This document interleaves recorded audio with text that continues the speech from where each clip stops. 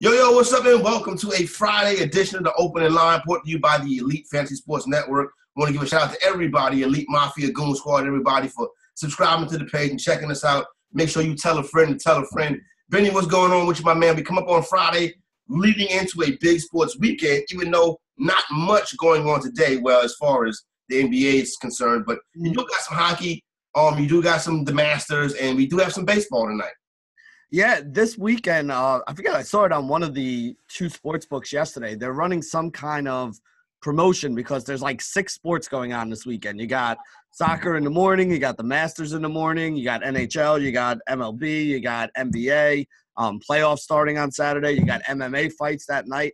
So there's a lot of things to be, a lot of sports to keep us busy this weekend. A lot of things to bet on too if we're looking looking to get some money down. Man, that, that's that's that's it, it is that time of the year. You know what I'm saying? Spring break coming up and all of that good stuff. So always cool to have a couple extra dollars in the pocket. You and your crew uh, going away doing anything for spring break? No, uh, well, I was telling you before we got on online today. You know, my kids are in three different schools because they're they're different ages. So like the baby's in a in the pre-K like a program somewhere in one town, and then my one son is in another town, and then my other my oldest son is the only one that actually goes to school in Weehawken where we live right now. Yeah so each one of them has different spring break weeks. So like the one, my one son has a half day today, and then he's off all next week. The other one is off next week and the Monday after um, Easter, and then the third one is off the week after Easter. So even if we wanted to go away, we couldn't do anything because everybody's got different breaks. So, Yeah. yeah. My daughter may uh, wake her way up here next weekend for a little spring break. My son is, is my son is, is a man. you know, my son is like, I might be up there, I might not. I'll let you know. You know what I'm Yeah. saying?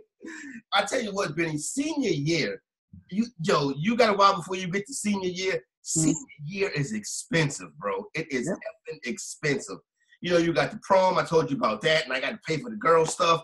You know what I'm saying? You got the prom, you got the dorm deposit, which I sent out this week, and all the stuff that goes along with getting ready for college. Thank God he's not traveling too far, so that won't be as bad. But um, I get a call yesterday from the picture people. Oh yeah. So I'm like, okay, well, you know, I got I got the email of the proofs. You know what I'm saying? What what you know, the proofs is there. You know what I'm saying? We'll start ordering packages shortly. And the lady was like, well, the link to the proof expires on April 24th. So I was like, so what does that mean? So she was basically like, you have until April 24th to purchase the pictures. And I'm like, you know what? Well, you know what? I mean, not not to uh, bust your bubble, but you're also gonna have to pay for a cap and gown pretty soon too, right? I mean, that's only like a hundred bucks or so. Yeah, That's not too expensive, but that's still another hundred bucks. That's coming soon too. You're right about that. So all the good things that go along with that. But it's a it's a fun time. You know what I'm saying? Mhm. Benny, I'm grad. I'm I feel like I'm graduating too. My first my firstborn. I've I've pushed him through adolescence. I mean, I pushed him through childhood and adolescence all the way into um. I, he he'll say uh, all the way into a grown man. I'm like all the way into a grown boy. Yeah, I, I agree. I mean, you know, you think you, you think at 18 that you're a man, but uh, you, there's a lot of life lessons to come for you in the next 10 years or so. So you're a grown boy till you're about 25. You're, I'll tell you what, the one that feels good, or at least according to my dad, the one that feels the best is when they graduate from college. Because then he's like, because now you're no longer my responsibility. That's exactly what my dad said to me. He goes, kid, I love you. You know, congratulations. I'm proud of you. But as of today, you're no longer my responsibility. So, Hundred percent. He was scheming on. He's scheming on my place right now. You know what I'm saying? He's like, "Yo, you keep this joint, and then when I graduate, you move somewhere, and I'm moving into this joint." Yeah. So I'm supposed to pay rent here until you graduate, on top of paying your tuition and room and board. You know what I'm saying? you're like, listen, I brought you into this world, son. That's enough right now. Like, you should just be happy. You should be happy you got this far without me asking for it. Exactly. You're going. You're going to. You're going away to university. So um, there you go, right there. We'll figure out the rest after we see what you do with these first couple of weeks. You know, at one point, uh, my son was considering Del State. I think I may have told you. And Yeah, I was at the University of Delaware. We talked about oh this. yeah, that's right. Yeah, and Del State being right across the street from uh, Dover Downs. Um, that would have been very interesting too. He'd have been running a racket out that joint, and then that would have been some trouble. Um, so day two of the Masters, uh, Benny. To see the, the betting, I don't watch golf enough. I did have some. I did. I, I had some. I had some three balls in yesterday. Mhm. I hit one of them. I had some um, some outright first round outrights. I missed all of those. I mean, I put it like this: out of the top twenty, I had five of the top 21, but only one in the top 20. Yeah, I hear you. It was um this was actually a pretty decent day. I told you I played a bunch of the DFS yesterday for uh for the Yeah. Masters.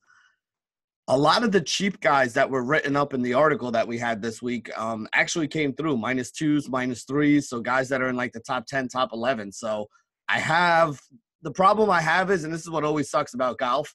My best lineup that I have has um two of the guys that are tied for the lead, um you know, Koepka and uh DeChambeau and then I think there's Adam Adam Scott on there, and I'm trying to think who the other guys were, but like everybody's under par.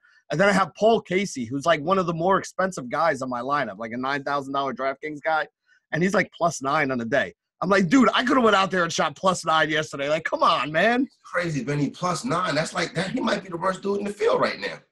Hit five bogeys and two double bogeys yesterday. No, no birdies. He got off to a bad start. He gonna have to hustle back today. Oh, he, he's got no shot. He's not making a cut. He's basically gonna have to shoot like a 62 today to make the cut. Yeah, which is oh, I guess that's gonna be tough to do.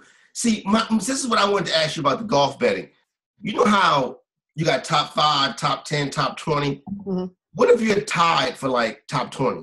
It, it's still well, it, like if you're let's say you're one of ten people that's tied for tenth, you still get paid out if it's top ten. Do you? Do you but uh, do you get paid out at reduced odds though? No, Okay, you get paid the full odds. paid- yeah, you get paid out top ten. Yeah, because they made the top ten. You know, there, there's no way for them to tell how many people are going to tie or whatever for that. So Yeah, no, uh, that, that's what I was figuring. But as somebody you know who's uh dibbled and dabbled on the DFS side of of of, uh the Masters and some of the major tournaments, I Mm. might know how that go. But as far as betting it, this is the first real time getting into it in that way, and I might uh see what's going on after we do this today, and maybe put a little bit more down on that. As you know, but it's getting kind of tough. But I haven't had a winner since the national championship. Today is Friday. But you know what? And this is what I've been saying all along. Like this is a good point to bring up about sports betting right now and why, you know, all the leagues should really want it. You don't watch golf. I don't even watch golf. But we're watching golf this weekend, A, because it's the Masters. So it's I mean, basically like the national champion. You know what I mean? This is one of the biggest events. But at the same point in time, now that we have gambling on it, we're watching it like right now in the background. I, I'll even show you guys. I have golf on the TV right now in the background because I got some DFS stuff going on and I got some money on, and because it's you know 10, 10 o'clock in the morning, and how else is there to watch at ten o'clock in the morning on TV? No doubt. You know, all these other states like New Jersey has sports betting, right? And you come from New York and you come over here to New Jersey, as do a lot of people that I know. A lot of my friends in New York are always like, "Yo, I'm gonna stop by your house today, hang out for a little while, put some bet." I'm like, "Yeah, go ahead," because I live, you know, right outside the tunnel, right, right into New Jersey. It's about as close as you can get.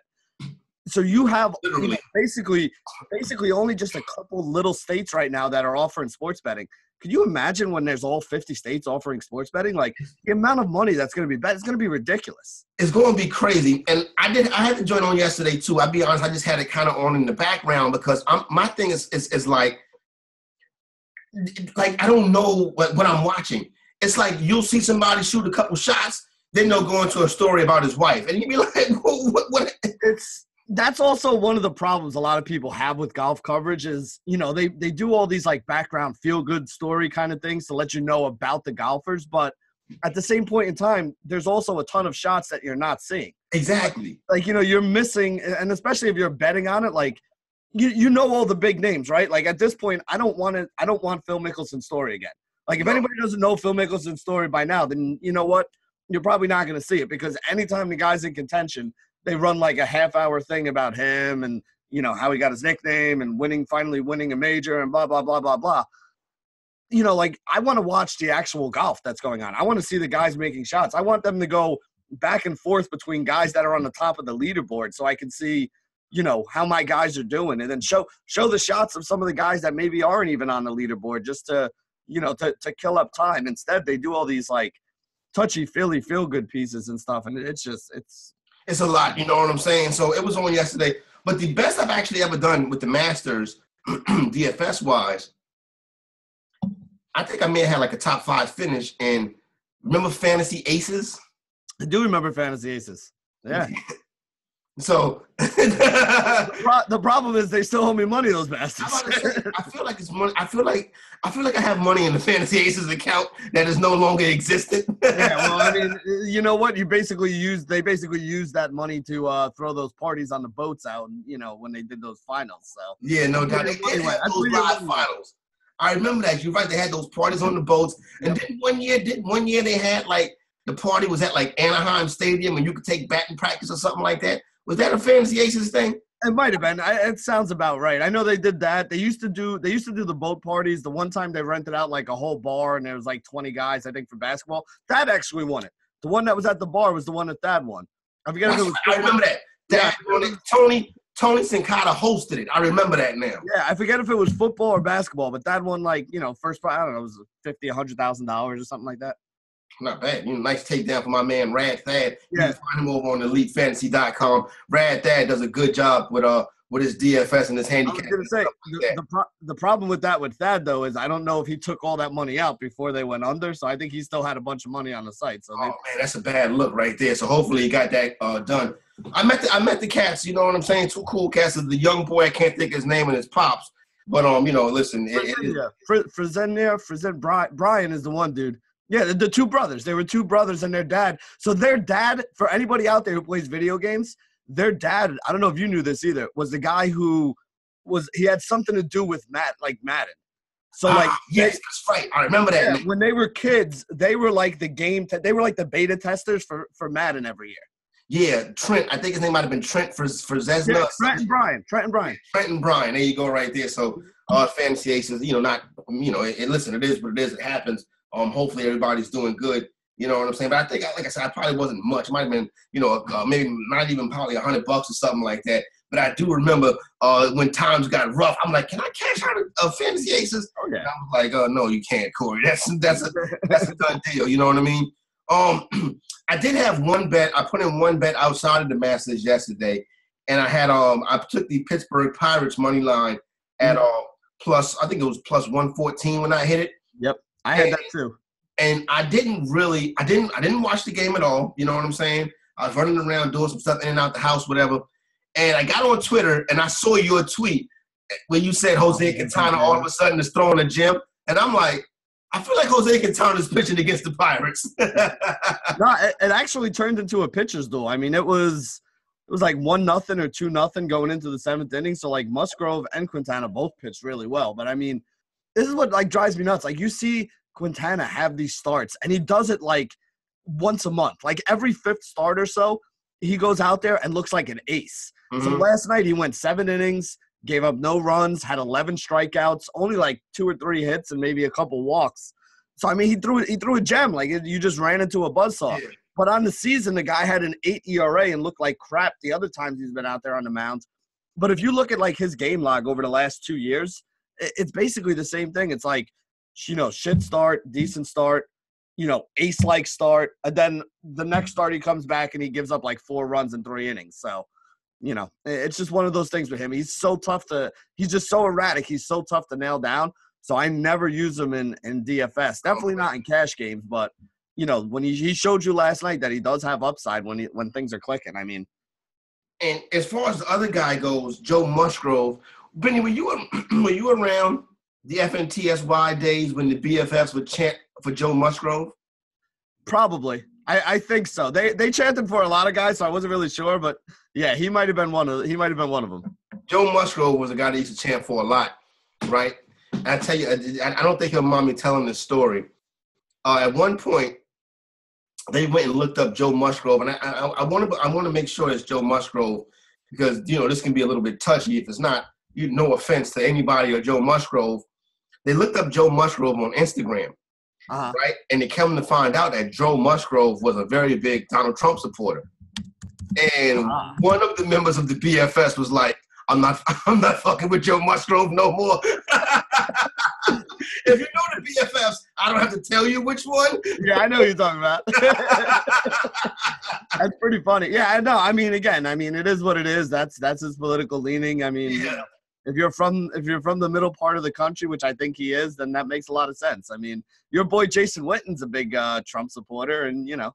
and I'm a big Jason Witten supporter. You know what I mean? So there you go, right there. See, I, with me, with with stuff like that, um, yeah, son, when it comes to fantasy and betting and, and getting money, I'm kind of like I don't care. You know what I mean? I don't like. I, I say that to people. Even even when people are like, "Oh, how could you pick that guy on your fantasy team? He's a child molester, wife beater, whatever, whatever the you know whatever the uh, the guy is and whatever the situation is." I'm like, you know why I pick on him? Because I yeah, you're right. He may uh, beat his kids, but I'm not drafting him to watch my kids. I'm drafting him to score fantasy points to help me win money. So you know, you my money is one thing, and my my thoughts and my views on certain things in life are another, and very, very seldomly do those two things cross. So what ended up happening was, um, this is the, the, the best story about this that I've ever that I've ever heard, and it's a, it's a very good friend of mine. As a matter of fact, I'll be I'll be uh, talking to him later on today in a couple of hours. When Adrian Peterson got in trouble for the child abuse, yep, this was still a, this was still I wouldn't say he was in his prime, but Adrian Peterson was still a top fantasy back at this time. Yeah.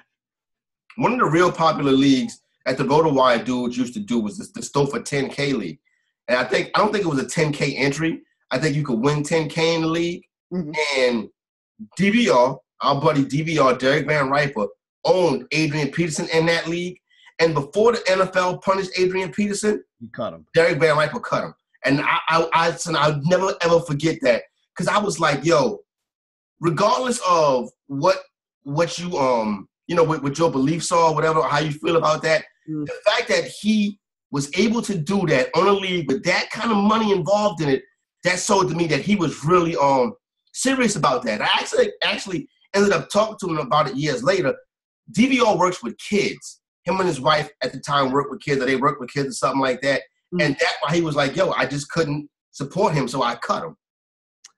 See, here's here's the problem with that to me, right? Like, if you're the Minnesota Vikings at the time who also cut him, I understand that because you're a professional sports franchise who has 50 to 100,000 people buying tickets to your games all the time. Yep. You know, you have media that you have to deal with on a daily basis, the, you know, not just local media, but like national media and all that. So I understand that when he's on your fantasy team, like Corey, you and I are boys. I can't name everybody on your fantasy team. Yeah. I'm not going to judge you because you have, you know, a wife beater and a racist and something else on your on, on your fantasy team.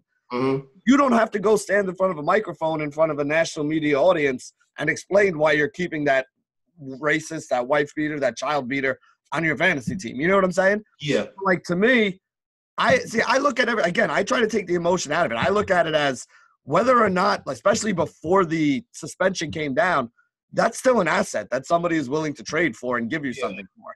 Dropping Adrian Peterson, you know somebody else in your league is going to go pick him up. So to me, I mean, again, if I'm the Minnesota Vikings, it's a different story because I have the whole PR mess to handle. Yeah. But if it's a guy on my fantasy team, I don't give a crap because that guy still has some value in fantasy and I'm trying to win my fantasy league.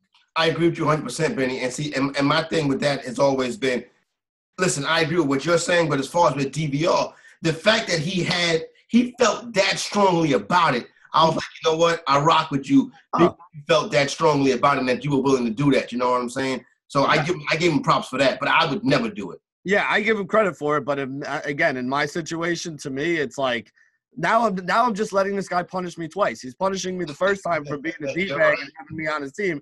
Now he's punishing me again because I'm giving value to somebody else in my league who, you know, is going to wind up picking him up if I drop him. So, you know, you're not going to get me twice. You being a dick doesn't doesn't hurt me twice. You know? No, it doesn't exactly. Speaking of the Jason Witten thing, um, the Nick Bosa story. We didn't get a chance to talk about that. Nick Bosa probably about to be one of the first three picks of the draft.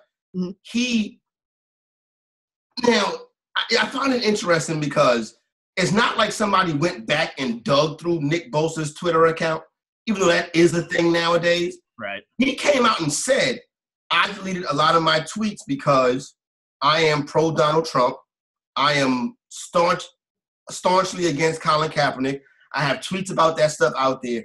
I deleted those tweets, and he said the reason why he deleted those tweets was because it's a good chance he could be drafted by the 49ers and he doesn't know how that message would fit in a city as liberal as San Francisco.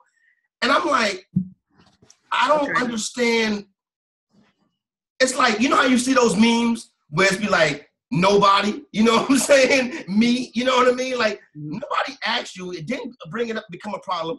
I can see you trying to get in front of it, but listen, your beliefs are your beliefs. Why does that change depending on where you live at geographically? Well, I mean, isn't this the problem with this country right now? You know, is you can act like an asshole when you live in an all-white place in the middle of Ohio, and you know you, you can you can be a jerk off. You're basically just saying that you understand that you being a racist douchebag is the wrong thing. like if I go to if I go to a city where being a racist douchebag isn't okay, it's like where like being a racist douchebag shouldn't be okay anywhere. Yeah, you know, like it shouldn't be okay anyway. It doesn't matter if you're in the middle of Iowa or if you're in New York City or San Francisco or you know one of the quote unquote liberal places in this country. If you don't have the balls, if you want to be an asshole, if you think you know screw Colin Kaepernick and, and all this stuff, and, and I'm pro Donald Trump. If you're pro Donald Trump in Ohio, you should be pro Donald Trump when you're living in California. That's and it. if you're not, then then you're just proving that you know you're you're an asshole. So you know what, Bosa, you're an asshole. There you go. With Bosa is, I think Bosa just wanted to get the message out. That's what it was. See, I don't think nobody. It's like nobody asked him, but he wanted to put it out there. You know what I'm saying? So I, I looked at it and I kind of just like grazed past it, and I was like, interesting, but then again, not interesting. But hey, listen, best enough to, to, to Nick Bosa and whatever your beliefs are. I don't think. Listen, if you are sacking quarterbacks and running back fumbles and stuff like that, Nick Bosa, they're not gonna care who you vote for. You know what I'm saying? Yeah, it's true. But you know what? Show some character and stand up for what you believe in. You know what I mean? If that's what you believe in, and ride with it proudly. Exactly. And ride with it. That's the thing, and that's why I bring into the DVR thing because no matter um what what what what what what, what happens, he was able to ride with that. You know what I mean? But right quick, we got a couple of we got a, we do have a day baseball game. I know um the cats over in uh, Guru Elite or Elite Fantasy. I know they probably have something up for DFS baseball today. You can check that out.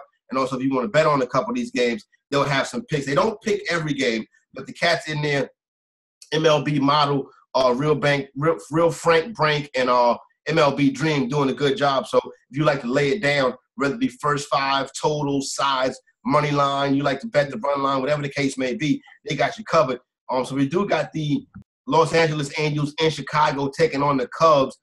Um, the Cubs are minus 160 in this one. Tyler Skaggs and Cole Hamels on the. What do you think about this one, Ben?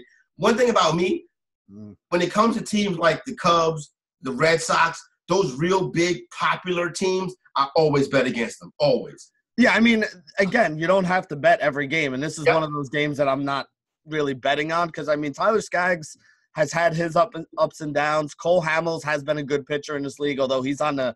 You look at his numbers over the last couple years; he's kind of on the decline. So to me, this is just one of those games that I'm kind of staying away from. I don't really have a big lean either way. Um, you know, the Cubs got some decent hitters in their lineup and some bad ones, and you know the Angels have Mike Trout and a whole bunch of other guys that you know aren't as good. yeah, exactly. So it's one of those games that I don't really have a big lean. I'm not touching. I don't blame you. Stay away from that one. If you don't like it, you don't have to play it. The Yankees and the White Sox tonight. You got uh Giolito and Jay Happ. I mean, listen, Giolito looked pretty good in in some of his starts this year. Last year, though, he was horrendous. And again, the guy has been in like a top prospect that's been bouncing around from organization to organization. You know, he was one of the key pieces in the trade for, uh, you know, the trade that came over between Washington. I think it was for um, the Adam Eaton trade. Mm-hmm. I, I mean, Giolito is a guy who a lot of people thought was going to be a big time pitcher. He didn't really show it last year. He started to this year, but – I'm not really sold on it. I, I would bet the Yankees, but again, this is another one of those games that I'm not really on. See, my problem with betting the Yankees right now is you're not getting 35. Yeah, you're not getting the and you're not getting like the Yankees at full strength, right? I mean, you got injuries throughout that lineup and and people need to adjust for that stuff. And really the lines haven't adjusted for it. So for me, I'm just I'm not chasing the Yankees until they get back to you know, full strength with all those bats back in their lineup. If I'm doing anything with the Yankees, like I said, I'm a Yankee fan, mm-hmm. so I'm not, I'm not really. I don't mind betting against them now, but um, if I if I if I got the game on and I want to watch and have some action, I'll just bet a prop bet for one of the cats to hit a home run, likely Gary Sanchez. Yeah, like Sanchez or Judge, like plus four five hundred to hit a home run, something like that. Like that's what I'm saying. Is like if you're if you're looking to, to make money on this game, I don't really think it's the way to go. Like I'm not looking to bet the Yankees really until we get about two months from now and you get Stanton back in the lineup, you get everybody healthy. Because right now it's just like the top of the order is the five or six guys who you expect. The bottom of the order though is just basically like free agent pickups. You know. No doubt about it. Uh, later on tonight, you got the Mets are in A Town to take on the Braves. Uh, they're in Atlanta. Zack Wheeler and uh, uh, Wright, K Wright. I don't even know who K Wright is. Is it Kevin? To be honest, I'm not even sure. I didn't I didn't get that deep looking at that game, but what's up with Zack Wheeler though? He's supposed to be ready to like really do his thing this year is what I'm hearing from Met fans. But I always hear crazy stuff from Met fans. Met fans are always happy in April. But but I will say this though, this is not this is not a crazy thing. I mean, Mets fans do say some crazy stuff. This one's not crazy. Like Wheeler really had a good season last year, kind of burst onto the scene. So they're expecting big things out of him up there at the top of that rotation. I mean, you have you have Degrom, you have Syndergaard, you have Wheeler. Like that's three legit pitchers that if you can make it to the playoffs, those are three guys that are going to be tough. You know, on another team having to see those guys three times each in a series. So hopefully he can stay healthy this year, which has been his problem earlier in his career. But again, he stayed healthy last year and, and he really kind of took a step forward. So kind of expecting to see the same thing from him. Yep, no doubt about that. So if you want to lay down on some baseball, once again, don't forget DFSEliteFantasy.com if you want to bet it. Guru Elite, the betting package, lay it down for MLB as the season gets ready to get started and warmed up. Well, season already started, but it's getting warmed up now. Cats is hopping in. A lot of bets coming on baseball. I'm seeing some handles or some baseball bets, you know, on the app that I'm using. Got to have seven, eight thousand bets on one game, and I'm like, okay, well, baseball is starting to heat up now. Um, MMA, it's, it's an event going on this weekend. They got you covered uh, for the DFS and for the betting over at EliteFantasy.com. I'm not the biggest MMA guy, but every time I get um somebody will tell me, you know, parlay these guys right here. Mm-hmm. And I'm like, okay, you're parlaying all of these favorites. All of these guys got to come through. You know what I mean? And I, and I really don't like playing like that, especially with a sport that I don't know. So here's basically the way that I do it, right? Like, you know, we got one of the best here at, at, Guru. And I'm not just saying that. Like, anybody in the industry will tell you, like, Mad Lab is one of the best at breaking down all these fights. So I've kind of gotten good at reading Mad Lab's article and understanding who to bet on based on his article, right? Okay. So when you're reading his article, here's the, the key thing to watch for. When he makes a good case for both fighters, that's a fight I stay away from. Mm-hmm. He's basically like he's gonna he always is gonna tell you who he thinks is gonna win, but he he breaks down both sides of the fight. So when he says like, you know, fighter A and fighter B, you know, like fighter A's got the better hands, the better ground game, he should win this fight. But if fighter B can make it a, you know, an ugly fight where he takes it to the ground and, you know, then he can grapple and wrestle with them, you know, he's got a chance to submit him. So if it goes the distance, fighter A wins, but you know, fighter B has a chance to win this fight as well. Those are the ones you stay away from. Then there'll be another fight where he's like, you know, like when two girls are fighting, he'll be like, listen, she's got the better ground game, she's got the better, you know, stand up game, you know, she's better at submission and she's got a better chin, better cardio. Like when he basically makes the case that literally it would take a miracle for the other one to win, those are the ones you want to bet on. And, you know, you made a good point here too. Like one of the things that is profitable in MMA, you don't want to take like a minus 300, minus 400 favorite yeah. and just bet like a hundred bucks or a thousand bucks on them to win eh, because you're not winning any money. You're winning like, you know, 25 Winning your money back. Yeah, you're winning like 25 30% of your bet. But if you can take like two guys that are like minus 250 and put them together or like two or three guys that are minus 250 minus 300 that that Mad Lab was like, "Yo, these are guys that honestly would take an act of God for them to lose." now, now, now, you're getting like you know bet 100 to win, you know, uh, 125, so you get back like 225 or something once you can get it to even money or close to even money, that's when I that's when I like to take them. So I do I do tend to do what you were saying and link a couple of the stars together like that. Because the other fights, if it's like minus 120 or minus you know plus 125, like you could just pick a winner there. You could just put a hundred bucks straight on one of those guys to win the fight, and then kind of go from there. And there's been days where Mad Labs hit like eight out of ten or eight out of eleven on these, where you know if you just avoid some of the ones that are a little risky, you can go like you know, it's like blackjack, right? You make 100 on this hand, and now you got 220. You bet 220 on the next hand. Now you got 400. You bet 400 on the next one. Now you got 800. So I mean, you could turn 100 bucks into a thousand bucks pretty quick in MMA, and the fights come every 15, 20 minutes. And you know, I like action, so anytime I can get more action quick, I'm always down to bet on it. Hey Benny, you be betting those first innings I stay away from the first. You guys are fucking crazy with that shit, man. that stuff, bro.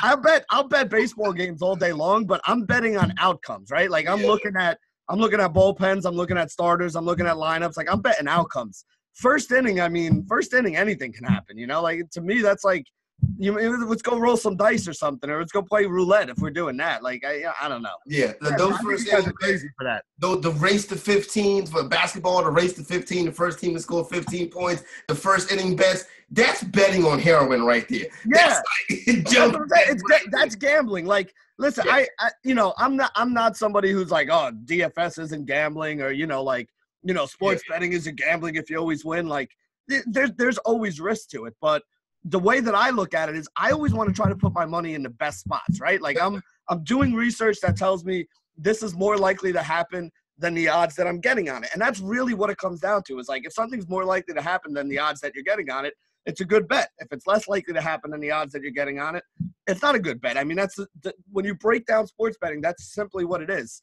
This stuff to me is like rolling the dice. Like if you want to gamble and you want some action, if you want to throw like 10, 20 bucks on it just to, you know, just to have something to do while you're watching a game, I'm good with it. But yeah. if you're making big bets on, you know, you're betting a couple hundred bucks on first innings and, yeah. first to 15 and stuff like that, you're crazy. you're opinion. losing. It's, it's like, like, like you said, if you want to have some action and throw a little something down, I'm fine with that. But if you're in, if you're betting as an investment strategy like I am, you don't ever touch no shit like that. You know what I mean? It makes absolutely no sense. No. Size, totals, first half, stuff like that. I agree with you 100%. So if you want to get down with some MLB, Elite Fantasy is the place to do it. And the same thing goes for MMA. It got you covered no matter what the sport is. Speaking of those parlays, Benny, that you talk about, here's a five team parlay that I put together last night for NBA. This is for first round series 76ers, Raptors, Nuggets, Celtics, and Rockets. If you parlay those five teams to win their series, that is plus 350 right now. So who was it again? It was 76ers. 76ers, the Raptors. Raptors is a lock. Go ahead. The Nuggets. Nuggets is pretty much a lock. Go ahead. The Celtics. I'll put them in the, the shady, but you know how I feel about that after yesterday. Yeah, I think they're a lock too. And the Rockets. And the Rockets are another one. I'll put that into maybe because Utah's yeah. a decent team. And I agree with you. I feel strongly about that. Too. Probably is the Celtics, but I don't think Indiana has enough. But those five teams right there to win their first round series pays uh, plus 350. I like it. So let me give you a good stat. Like I told you yesterday, after we got off the show, all I did basically was look at NBA stats and, and stuff for betting in the last month of the season, the Indiana Pacers were 11 and 1 against teams that had a losing record, teams that didn't make the playoffs. Against teams that made the playoffs, they were like 5 and 13. Yeah. So, and, and we talked about this earlier in the season too. It was like Indiana's that team that they're good, but without Oladipo, they can't be great. They beat the teams they're supposed to beat. They don't lose to, you know, the Atlanta Hawks and the Dallas Mavericks of the league. But they're also not going in there and consistently beating the – Milwaukee Bucks, the 76ers, the you know the Celtics, the um, you know who am I missing? The Toronto Raptors. Like they're not beating the other good teams. They're beating up on the bad teams they're supposed to beat, and that's how they built their their really good record. But they're well under 500 against teams that have made the playoffs and a good team. So I, am telling you, I love. I said to you yesterday, the Celtics are one of those teams that I absolutely love. Like I feel people are right. underestimating in this, at least in this round and in this matchup. Yep. Now, as they move on, can they beat Milwaukee, I don't, I don't think That's so. That's what it is right there. Can they beat the Bucks? We'll see what happens when they get to that series. Before we get up out of here, Benny, I want we got some quick totals uh, came in last night for some of these uh, first for some of these Saturday and Sunday basketball games. Have you seen them yet? No, I haven't. So this will be good. Good. good. Uh, so I want you to guess what you think it would be. Orlando and Toronto. What would you think the total would be? Two twenty-two. It's at two fifteen. I mean, that's pretty low. They're two good defensive teams, but I think that's pretty low. I like the over there. I think I like the over in this one too. I agree with you on that one. Uh, uh the the Clippers and the Warriors. That's gonna be high, man. That's a two thirty something total. That's two thirty four. Two thirty two. Opened up at 230 and a half, sits at 232. I feel like 232 is right on the number. Yeah, that's good. I mean, I'm I'm not going to go either side of that. There's going to be 230 point, 230 points in that game easy. Yep. Uh, Denver and San Antonio. That one's going to be low. I'm going to say that one's a 215-ish one too. 211. Okay. I, I, and I don't think that's crazy. That's fine. I don't I wouldn't go over under that. I, I think I would leave that one alone also. That that one's right on the number. What I will say is I don't think this game goes to overtime, so I don't think there's a chance that overtime pushes it over the number. Mm-hmm. I think the under could come in. I probably would stay away. I would more than likely if I put some action on this game, the last game tomorrow night. I would lay the five and a half with the Nuggets. I don't want to spend the whole playoffs uh, laying for the, these favorites though. So you got to find your spots on Sunday. Boston and Indiana. That'll be a low total too. That's probably like a two fifteen again. Opened up at two oh nine and pushed up to two eleven. No Marcus Smart. I yeah pushed up to. I wish I would have got it at two oh nine. I would have taken that. If you told me under two ten, I would have taken the over. I, I mean, again, it's still. I still think it's a little bit of a low number, but not too bad. I don't know if the Pacers can score 100 points. I think, but I think the Celtics. I mean, again, the Pacers are the third in defensive efficiency in the league. The, the Celtics' defensive efficiency dropped a little bit this season, but I mean, they're still up there towards the top of the league too. So yeah, it really comes down to how many points you think the other teams can score on the other side. Listen, here's the thing. I mean, all season long, because of the change in the shot clock, the totals have been higher. You know, we've been seeing like the, the low totals like 210, 211, and a lot of times they were going over. We saw totals 230, 240 routinely this year. Like 220 was kind of the new norm. Last year, the norm was probably around like 215, 218. So I'm always looking to go higher. You know, these are lower totals than we saw in most of the season. So maybe the, the, games get, the games get more intense. Every possession Yeah. Yeah. This one right here, Oklahoma City and Portland, 225. I'm taking the over on this one, Benny, because this game right here could very well go to overtime. Well, it could go to overtime. Not even that. When when you take Nurkic out the middle and replace him with Enes Kanter, you know, one of the big differences between their two games is like Nurkic is a very solid anchor defender. You know, like he's a guy that's going to rebound, block, block, and or change shots at the rim. Enes, Enes Kanter has never been considered a decent defensive player. As a matter of fact, he's always been considered a liability. Um, you know, when he when he's there on on defense. So to me, I would I would have no problem taking the over in this game. I think there's going to be a lot of points. Yeah, I think so too. I agree with you on that one. Uh, Detroit and Milwaukee comes in at 219 and a half. I would say under on this one because Detroit can't score 100 points, but Milwaukee might score 150 on them. Well, here's my big thing is, you know, it's the first round of it's the first game of the first round of the NBA playoffs, and you're the number one seed in the East. They're gonna drag them. Chance to make a run. Eh, one of the things that we've noticed about Milwaukee all year, Milwaukee goes up 20. Giannis is on the bench. The other starters are on the bench. You know, again, their backups can still put up points, so it's not like they can't. But yeah, I agree. I mean, I don't think this game's going to be close. So in order for it to get over that total, it's going to have to be like 120 to 90 something. Yeah. And I don't know if it gets there. Like I, I have 115 uh, to 88. I think that's fine. Like I'd be willing to go under on this one. Yeah, I think it's the under. I think the under's in play on this one also. Only thing is, is Milwaukee just like I said, just slammed them to the point where it's no mercy, and the Pistons just quit, and the Bucks put up 170 points. Um, Utah and Houston ends the weekend. Two opens up at 219, pushes down to 217. Over. Easy, huh? Oh, I, I'm. I will not even going to consider it not being an over. Listen, the one thing that's changed a lot that people still aren't adjusting for this year with the Utah Jazz is their pace. Like mm-hmm. the, them and the, them and the and the Memphis Grizzlies used to be like the slowest pace teams in the league by a wide margin. Now Utah's like mid pack. It's not like they're playing like breakneck speed, but they're mid pack. There's a big difference between being one of the slowest pace teams in the league and being mid pack. And then on top of that, you look at Houston. Houston is one of the most efficient offensive teams in the league again, they don't play at a super fast pace either, but they don't waste possessions. They get points on most of their possessions. As a matter of fact, I think they're like one of the top three or four in offensive efficiency. So even with less possessions, they're still one of those teams that takes advantage of them better than anybody else. So to me, this is definitely an over.